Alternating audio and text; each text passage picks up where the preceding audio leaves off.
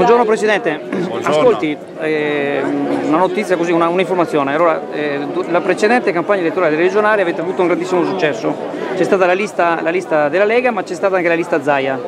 Normalmente in campagna elettorale si cerca di avere più cartucce possibile. Come mai non avete voluto fare una ulteriore lista Zaia che a nostro avviso avrebbe avuto senz'altro un ulteriore successo? Perché non ho voluto io? Perché penso che non sia corretto eh, avere nome di liste dove il candidato non ha quel nome, punto e basta. In tutto il Veneto non trovate una lista Zaia ma c'è Zaia, sono qui, sono qui, a sostenere Casson, è una scelta mia, peraltro la Lega dava il benestare per fare le liste civiche, penso che chi va in giro per il Veneto a fare liste civiche quando non è candidato ha altri obiettivi, siccome ognuno deve fare, occuparsi delle cose per le quali è stato eletto, si fa così, io non ho velleità di costruire partiti, di fare campagne, il Veneto mi ha mandato in regione e Zaia resta in regione. Ogni riferimento a qualche colore particolare è puramente voluto?